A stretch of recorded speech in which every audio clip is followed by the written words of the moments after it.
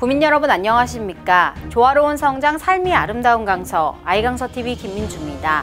6월 둘째 주 주간 주요 소식입니다. 강서구가 인공지능 민원 안내 로봇 세로미를 운영합니다. 강서구가 다가오는 여름철 해충으로 인한 각종 감염병을 예방하기 위해 오는 10월까지 집중 방역을 실시합니다. 강서구가 20개 전동 주민센터에 아이스팩 전용 수거함을 설치하고 환경오염 예방에 나섭니다.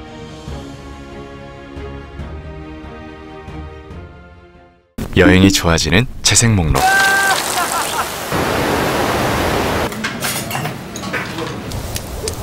들리세요?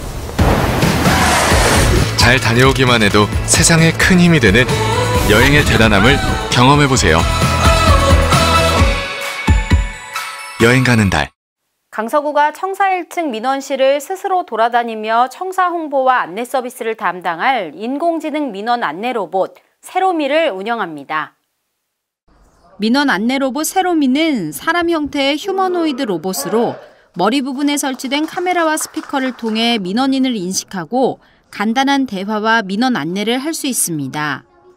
기존 민원 안내 로봇들의 기능뿐 아니라 전국 지자체 최초로 구 자체 빅데이터 시스템과 무선 네트워크로 연동해 코로나19 상황, 교통, 재난 상황, 재정 집행 등을 실시간으로 확인할 수 있습니다.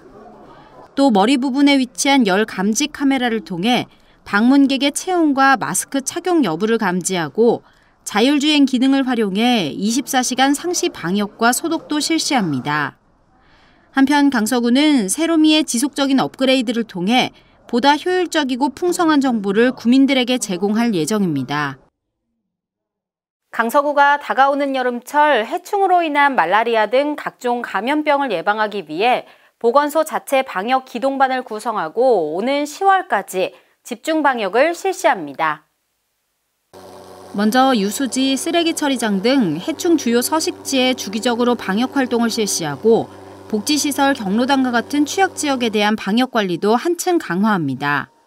특히 야외 활동이 증가함에 따라 구민들이 많이 찾는 근린공원과 산책로를 중심으로 해충 기피제 자동 분사기 7대와 해충 유인 살충기 30대도 운영합니다.